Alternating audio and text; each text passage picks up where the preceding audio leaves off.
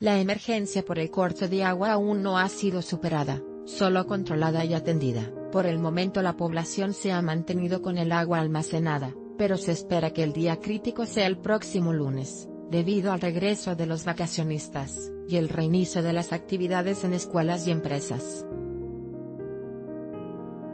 La CONAU informó que en su último reporte que hubo un retraso en las reparaciones, que se esperaba quedaran para este sábado en la mañana, situación que podría ocurrir en las próximas horas, anunció el director de la CONAGUA, Roberto Ramírez.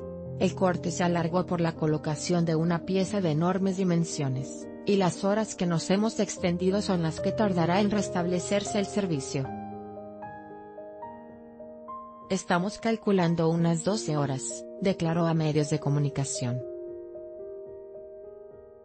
Desde el Centro de Monitoreo de la Secretaría de Seguridad Pública, el gobierno capitalino informó que el abasto y atención ante el corte de agua que vive la Ciudad de México han transcurrido de manera coordinada sin presentar ningún incidente, sin embargo, consideró que este lunes 5 de noviembre será un día crítico toda vez que regresan quienes salieron de la ciudad además de que se normalizan las clases. Este lunes regresarán alumnos de 7.911 escuelas de educación básica que suspendieron sus actividades, por lo que se han mantenido las verificaciones a los planteles para que mantengan un abastecimiento preventivo.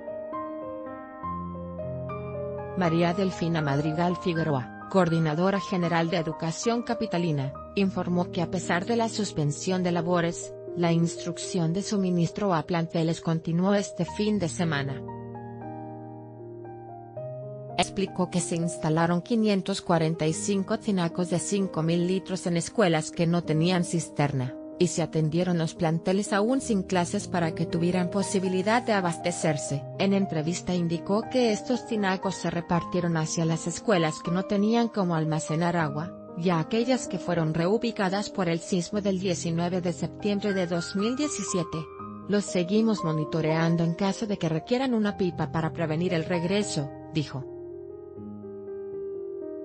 Sobre las escuelas privadas que mantuvieron clases, Madrigal mencionó que la mayoría previno el corte con sus propias cisternas además de que ya tenían contratadas algunas pipas, Agregó que la autoridad federal verificó que en estas escuelas existieran las condiciones de calidad que salvaguardaran la salud de los alumnos y plantilla docente.